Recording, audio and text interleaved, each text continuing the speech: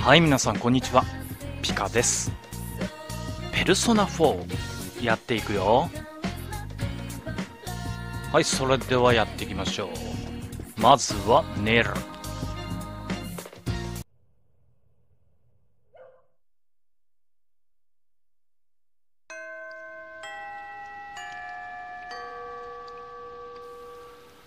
よしまあこれはちょっとなレベルを上げていきたいところですな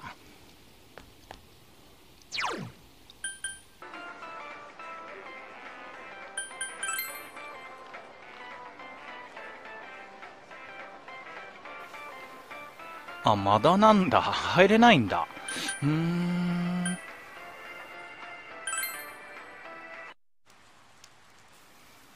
そっか、あのー、まあ、クマ、もしくは、あのー、リセが回復するまで入れないのかな？了解だ。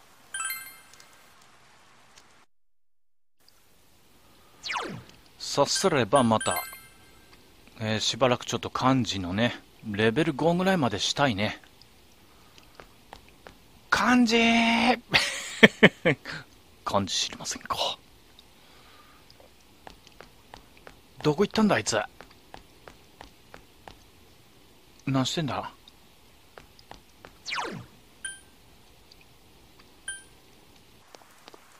うん、今回はなんだ、香味を上げれそうもないね。まあこれは何だろう、えー、開発者様の あれかな、導導きなのかな？まあ、やることねえから、まあ商品買おうかとかね。うん、武器覗こうかみたいな、そこで発見する人も多分いると思う。まあ僕も攻略とかさ、えー、あ、ここアイカか。アイカなのかアイケなのかわかんないけど、攻略見なかったら、うん、発見はできてなかったと思うよ。まあちょっと、えーとね、気絶、気絶結構して使ったから、買っとかんとな、まだ。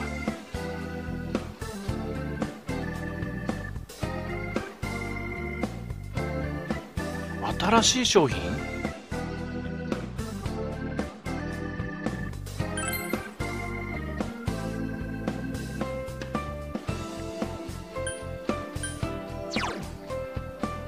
はいはいはい。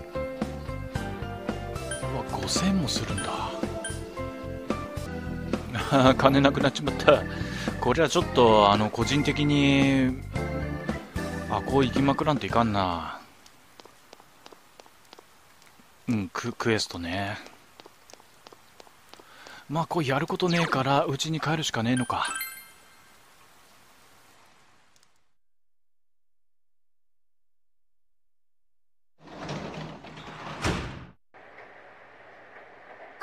おかえりお兄ちゃん。ただいま。七子。よーし。よしまた本本読んで日日にちを進めよう読み終わっちまったな。やべ。そしたら本屋さんで本本も買ってこんといかん。本もうないよね。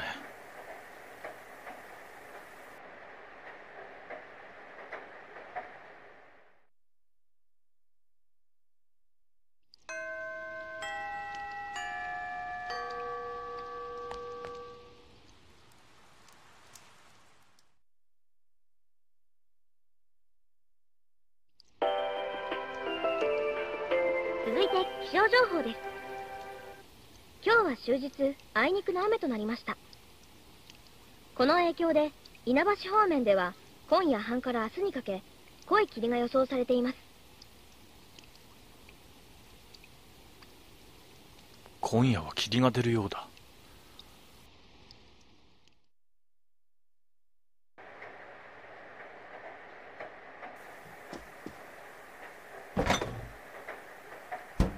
よし本読もう。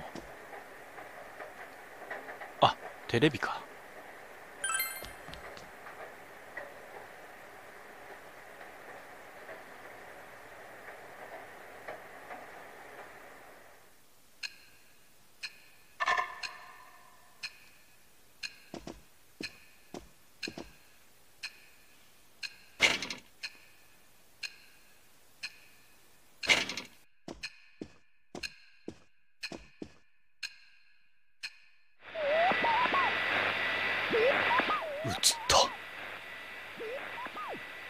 つ映んねえのかああなるほど。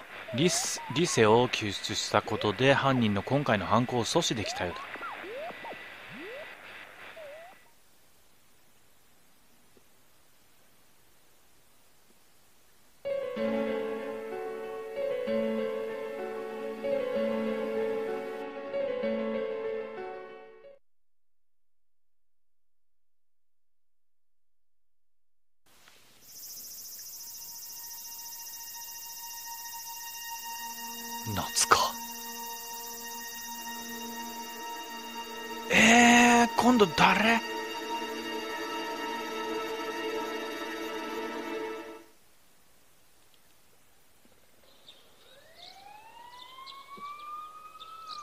サイレンが遠くから聞こえてくる。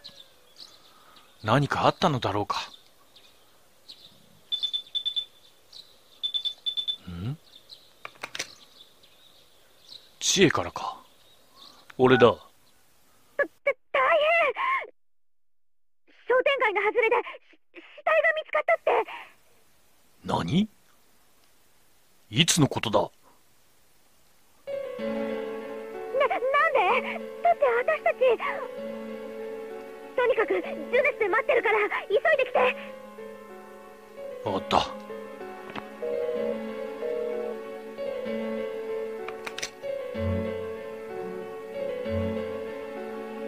あれ男だったよね？リーセじゃなかったよね？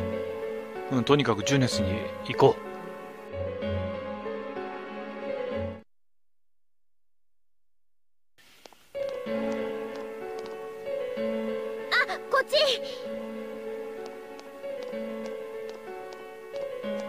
今花村が現場見に行ってる。うん。多分もうそろそろ。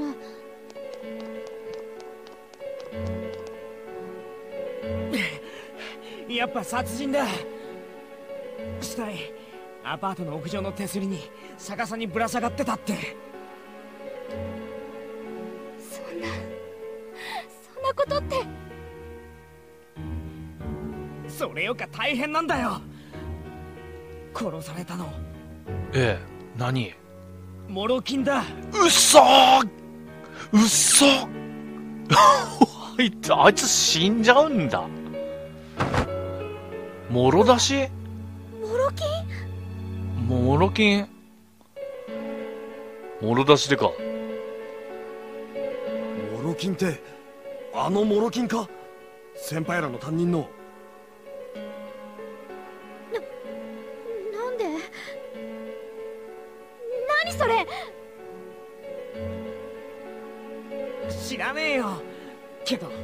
奴がいたんだ。どんな展開なんだ。うっそって思うの多々あるよなペルソナって。間違いねえよ。なんかね本当にねこの作物語の作ペルソナの物語の作者にコロコロ踊らされまくってるような 感じですよねれ狙われんのはテレビ出たやつじゃねえのかよ。夜中の番組も普通のニュースもモロキン出てるとこなんて見たことねえぞ。くそどうしてこんなことに。いろいろ分かったような気してたけど結局全部ただの偶然だったのかな。真夜中テレビも本当は関係ないのかな？くそここまで来て振り出しかよ。やっぱり警察も捕まえらんない犯人を俺らでなんて無理だったのか？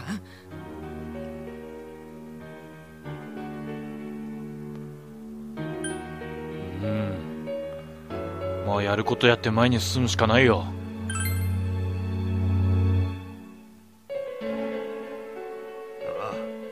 りだぜ。そもそも警察には無理だろうって始めたんじゃねえっすか。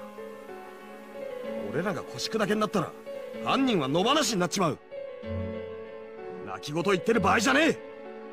俺らなりのやり方で前進むしかねえんだ。幹事君。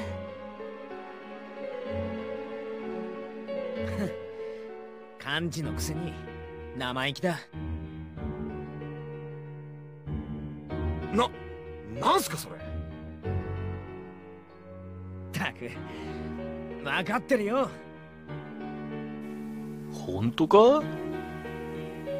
俺らの相手は殺人犯なんだ。それでもみんなで体張ってやってきた。今さら引き下がれねえさ。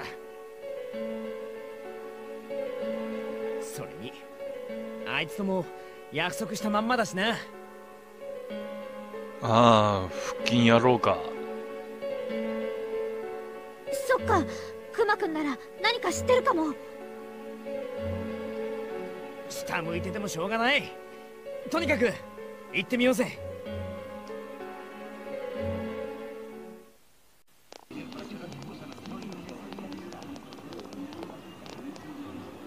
あすいません今からちょっとテレビのが入るんで呼いでくだください。珍しいな。お疲れっす。なんかあったんすか？あ陽介くん。ちょうどよかった。店長から何か聞いてない？いやーさっきから売り場に妙な着ぐるみがいるんだけどさ。今日何かのキャンペーンだっけ？出てきたんだ。着ぐるみ？熊田さんとか言うらしいんだけど。まあいっか。客もいないし。そろそろ持ち場戻んないとな。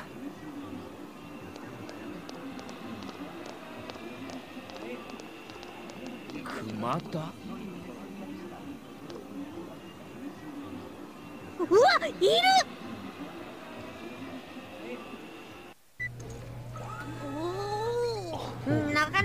壺に来るかもね。壺あんのかお前なんでここに？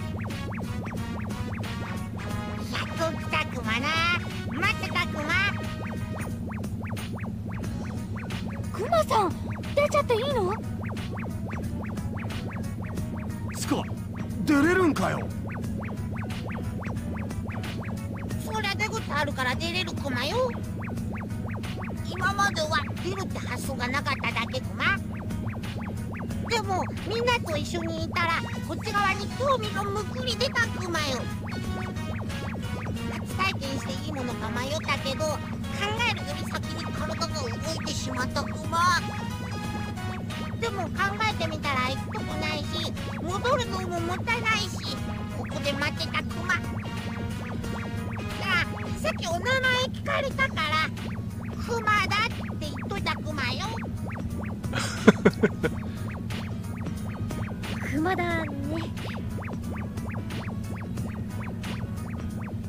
そうだ聞きたいことあるの。クマさんいつからここに？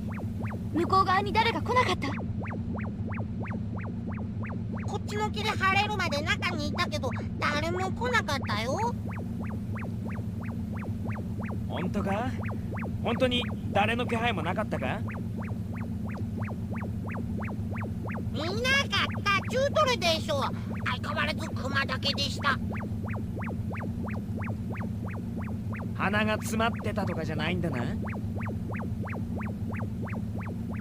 しつこいクマねマジに一人よ。だから来たって言ったでしょうが。まあ信じてくれないならいいですけど僕前から探知能力落ち目ですしね信じるよ。先生は優しさでできてるクマな。確かに昨日の真夜中テレビには何も映んなかったしな。っていうかよく考えたらさクマくんが何も感じてないわけでしょ？いや今感じてるよ知恵。壺壺に来てるはずだってモロキンあっち側に入らなかったってこと？どうなってんだ？ねえねえクマどっか行きたいクマ。ああ今それどころじゃ。てか帰る気なしかよ。はあどっかって。例えばどこいらだこれをリセちゃんに渡すクマよ。クマからの「フォーユー」って。クマからメガネを受け取った。これからはきっとリセちゃんがクマたちをバックアップしてくれるクマ。でもってクマはこれからみんなと一緒に全開バリバリで戦うクマ。クマを今までのようなただのプリチーグマとは思わないでいただこう戦ってよし守ってよし笑顔もよしのクマスペック2参上クマ。今ここに新たなクマ伝説が幕を開けるのだ。伝説。おお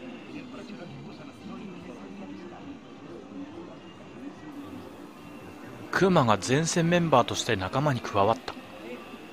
この事件の真相解明のために心強い戦力になってくれそうだ。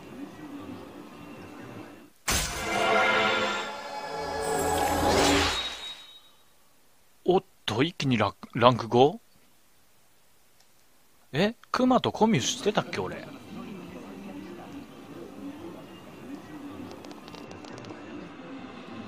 やばい人目引いてる。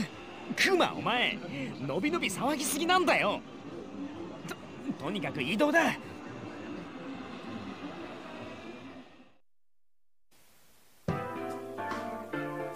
もう一回しつこく確かめるけどさ。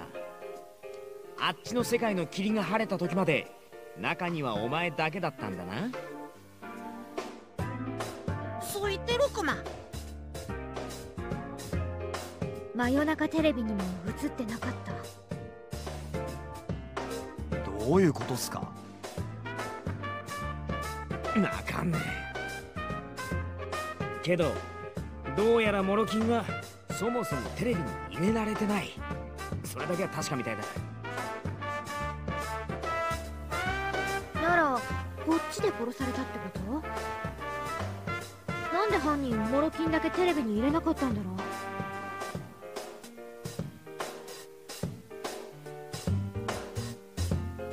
う？入れようとして失敗したんだ。歯がつっかえたとか。確かにこれだけ次々やってりゃない話じゃないけどな。ひょっとしてもうテレビに入れても殺せないって思ったとか。だって私たち続けて3人も助けたわけでしょ。っていうか自分を知ろうとしていなかっただけとか。もう諦めているとか、まあ、みんな自分知ろうとね迷って悩んでいたがあいつはななんで殺されたんだ？ユキコ。ああなるほど。ありそうそれ。んで今度こそしくじらねえようにいよいよ外でやりやがったってことか。くそ。もしそうならもう犯人を抑えねえと防ぎようねえぞかりいるよね。リサちゃんそろそろ話聞けないかな？そうだな。それに期待するしかねえや。はあそれにしてもあっつくまおい。空洞なっからお前やめとけ。通るってまさか頭か？やめろよ。子供見てんだろ。ったく中身空っぽで動いてるとかトラウマ残るっての気使えよ。でも元通りになってよかった。毛もふさふさね。さあ触っていいか ダメクマっていうかふふクマもう空っぽじゃないクマよ何ちえちゃん。とゆきちゃん。逆乱せねばって復活頑張って中身のあるクマになったクマえ何なはいはい偉いよくやった何出てきたん。だ中にもう逆難いつまで引っ張る気大体中空っぽなのに頭開けたって暑さ関係ねえだろ。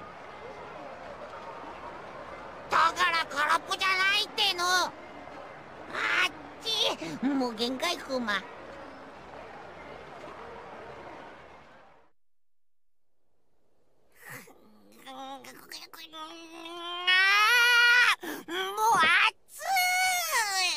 暑い。中なんかいるえ えお前誰いい風うっそなんかかっこいいし。え女の子？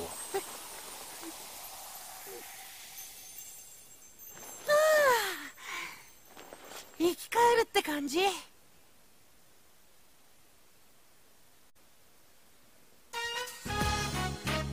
あ男か。ねえちえちゃんゆきちゃん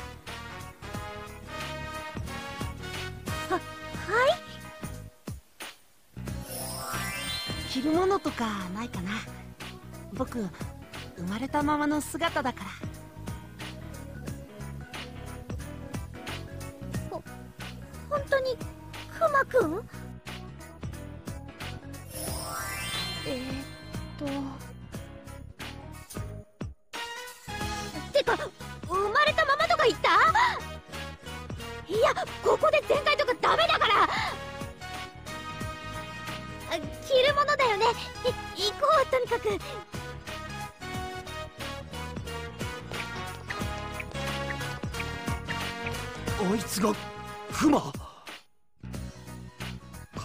じゃなくなったって中に人間生えてきたってのか。どんだけありえない生き物だよ。つかあいつ本当何なんだ。まあそうか。別に今に始まったことじゃないか。考えてみればこっち出歩かれんなら熊のままよりマシかもな。いうかそうだ。リセの話聞こうって流れじゃなかった？びっくりしすぎてそれちまったよ。俺たちで先にリセんとこ行こうぜ。クマはまあ2人もついてるし大丈夫だろう。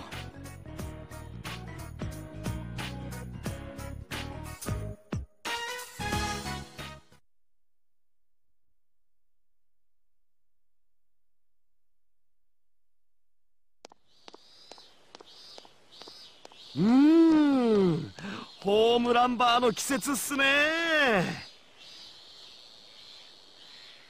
さっきから何本食ってんだよ。腹壊すぞ。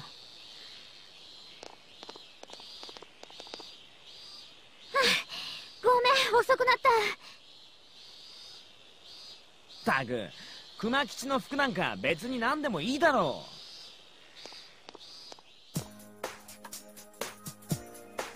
う。うわく熊かお前。イエスザッツライトいかがですか？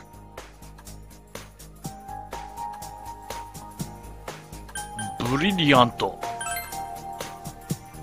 いや合わせなくていいって。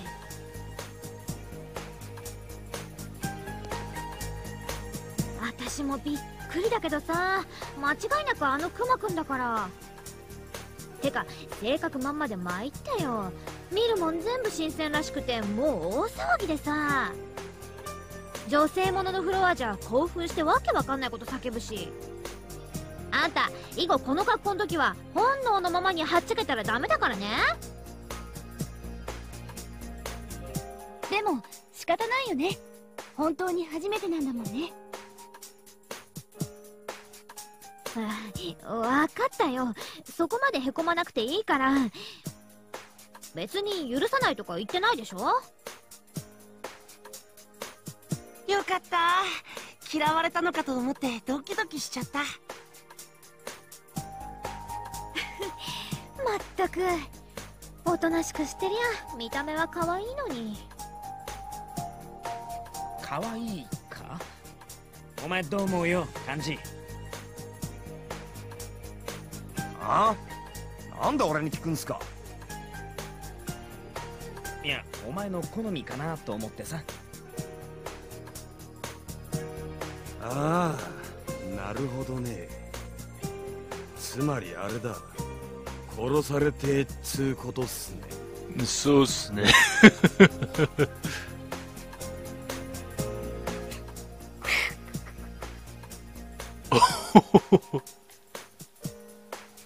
笑うとこじゃねえっすよ。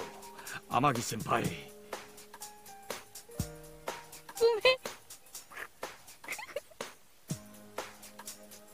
ユキコこうなるとダメだから許してあげなよ。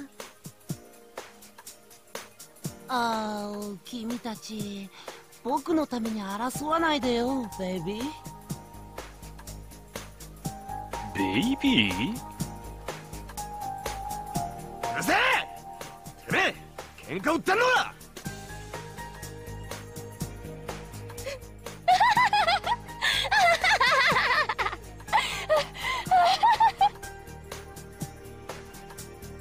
たくしゃあないな。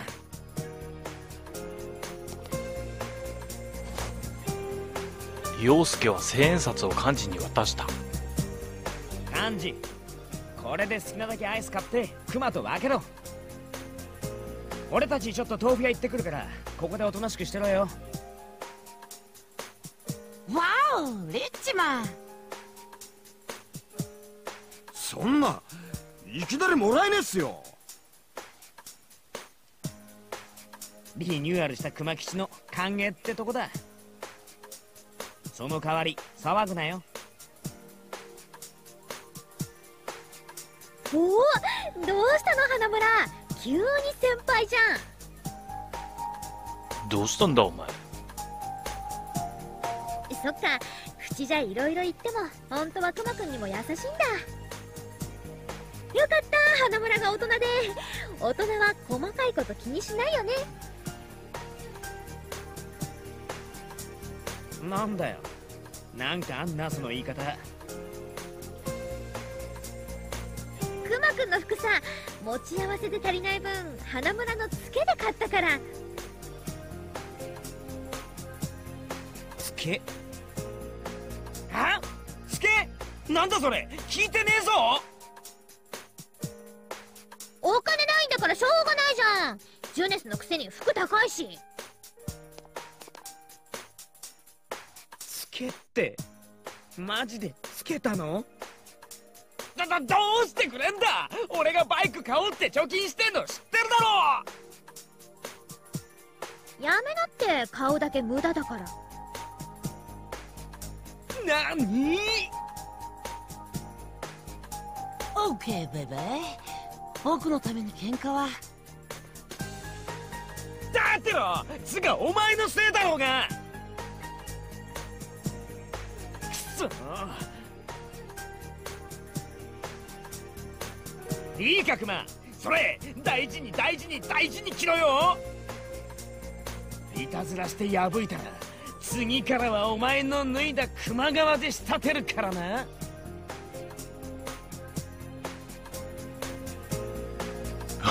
おいクマしょげてんな。ホームランバー食い行くぞ。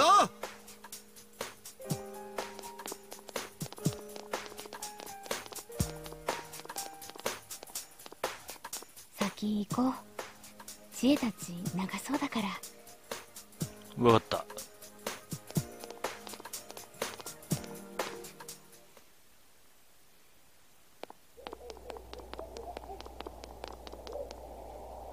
あ、あいつ。おややっぱり来ましたね。あなた確か。今度は久慈川理瀬を怪獣ですか？く店員の方もつけてうんなってん。あれ？こいつ確か漢字の時の。あれ以来になりますか。そういえばまだ名乗っていませんでしたね。僕は白金直人。例の連続殺人について調べています。こいつか、あの、なんか、えっ、と、堂島兄貴を酔っ払わせることをした少年は。一つ意見を聞かせてください。被害者の諸岡金四郎さん皆さんの通う学校の先生ですよね？それが何？第二の被害者と同じ学校の人間世間じゃもっぱらそればかりですがそこは重要じゃない。もっと重要な点がおかしいんですよ。この人テレビ報道された人じゃないんです。どういうことでしょうね？知らん。知るかよそんなこと。まあいいです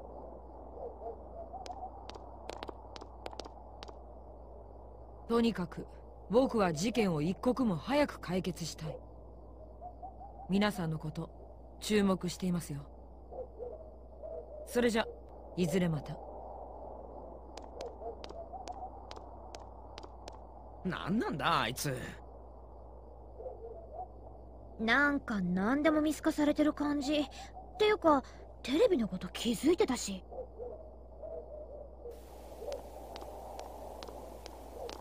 リセか？あいらっしゃい。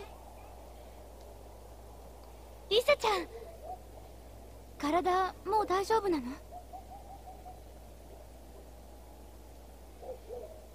そっかよかった。それを確かめに来たの？なまあね。そうだ今少し時間いい？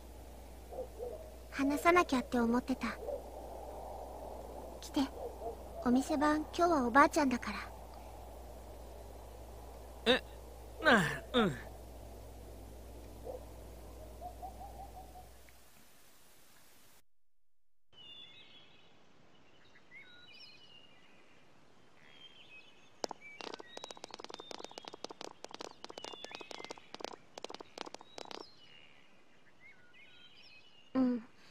家にいたことは覚えてるんだけど。気がついたらもう向こうの世界だった。またしても犯人については手がかりなしか。さっき白金って妙なやつに会ったんだけど。ああ何度も来てるの。事件のこといろいろ聞かれたでも向こうの世界のことは話してない。無駄だと思ったし。あなたたちのことも聞かれたけど適当に言っといた。ジュネスの屋上で気を失ってたところを助けてもらった。とかね。まあ他に言い方もないよな。あのそのどうした？んあの助けてもらっちゃって。ありがとね。嬉しかった。え？ああいいってそんなの。やばかわいい。ああ今やっと本物って実感した。確かにリセチーだその最近の私疲れてて少し暗かったから嫌かなと思って。喋り方変？あでも世間的には今の感じの方が私の普通なのかな。ごめんなさい。私どの辺が字だか自分でもよく分かんなくなってて。そんな謝ること？いいじゃんその時々で。無理に決めなくても誰だっていろんな顔があると思う。あははユキコが言うと説得力あるわ。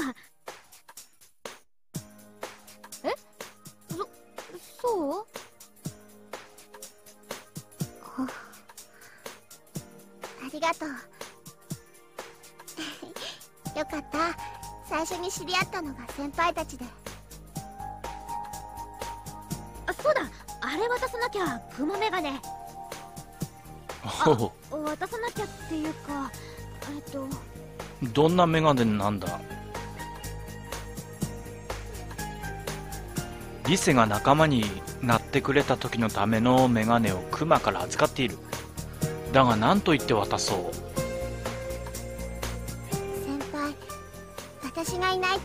と困る？ん？私あの世界でみんなを助けられるんでしょ？あの力で。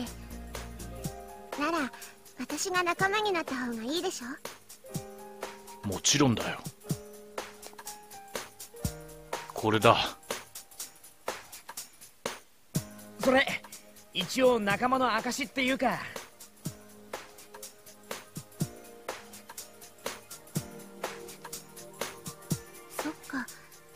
先輩たち向こうでかけてたよねメガネ。ありがとう先輩。これで仲間だよね。藤川理瀬が仲間に加わった。うん。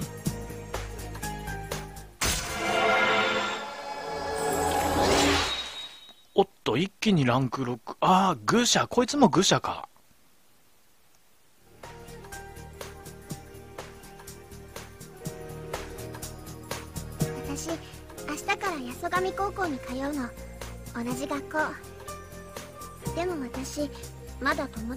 から仲良くしてよ。もちろんだよ。それに恩人だし。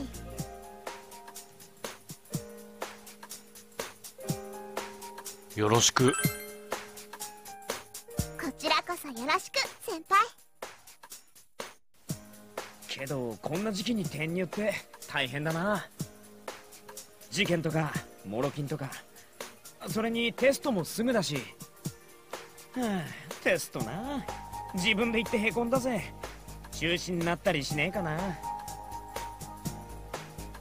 やるんじゃない？テストだけはさ。大変って。怪物相手に死にかけたことに比べたらそんなの。さてとなら事件のことは明日改めて特捜本部で相談だなうーす調子どうすか？てかクマのやつ。ホームランバー5本も食いやがって。ま俺はその前のも入れると6本だから勝ったけどな。そうか。誰も聞いてねえよ。っていうか話終わったから。行きましょう先輩幹事幹事と同級なんだな。うんなななんで？その色目は。ん？メロッと言っちまうじゃねえかお前。あなたも先輩たちと同じ8校生？明日から私もだからよろしくね。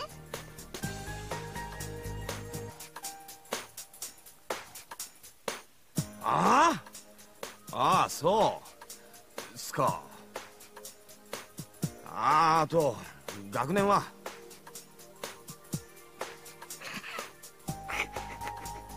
笑うなよかろ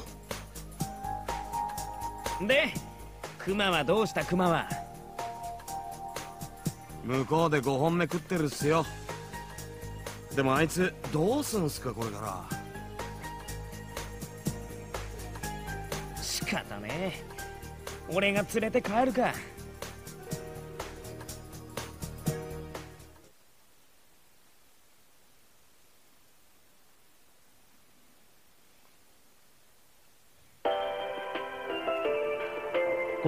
ニュースアイです。まずはヘッドラインから。稲葉市で起きていた連続殺人事件。ついに3人目の犠牲者です。2件目から3ヶ月が過ぎ収束との見方もあっただけに地元は衝撃を受けています。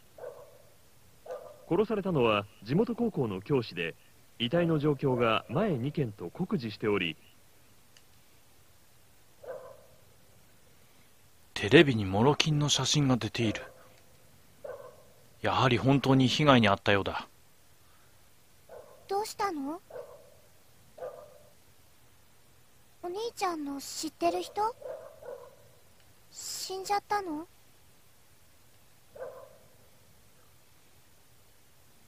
七子は怯えているようだ。大丈夫だ七子。平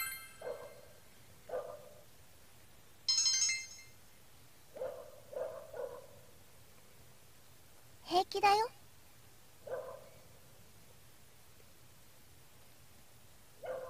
小西咲さんの事件から2件続けて同じ学校の関係者が被害に遭ったことになります。被害者の諸岡さんは厳しい指導方針で知られたびたび生徒との摩擦を抱えていたということです。警察では今回の事件が犯人特定への大きな手がかりになるとみて明日から大規模な捜査を行うことにしています。では現場から中継でお伝えします。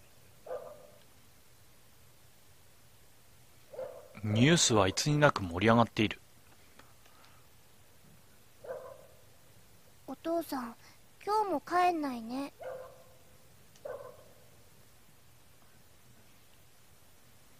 また手品でもやってみようか。右手の指が左手に移動した。あれ？もう一回やって。もう一回。何？今度は左手の指が。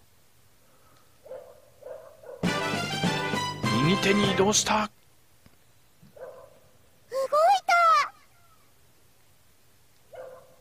ねえどうやんのどうやん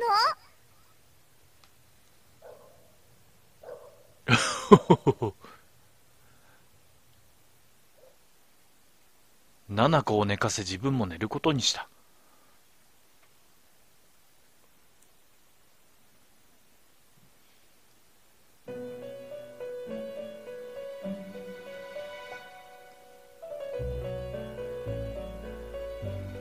はい、それではね、今回はここまでにしときます。ではまた次回この続きやっていきましょう。またね。